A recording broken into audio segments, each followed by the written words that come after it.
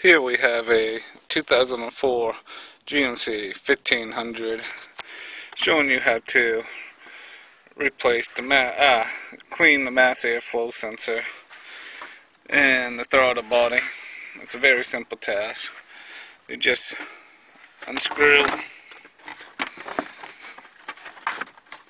a few screws, wiggle it up.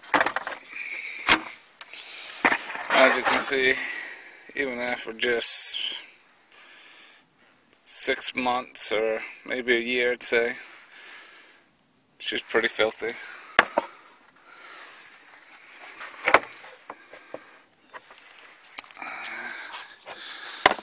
You take a good old can of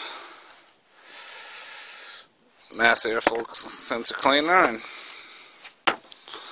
spray it on up.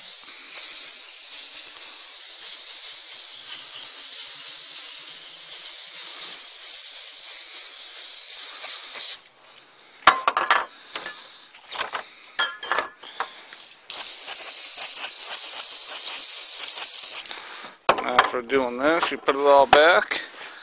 You should have a much cleaner running car, better idling, and hopefully a little bit better gas mileage. And, uh,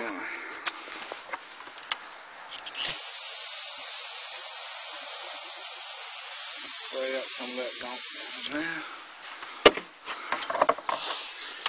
there. And then just easily toss it all back together. Quick 15 minute job, cost about 12 15 bucks tops. Give you a bit better gas mileage.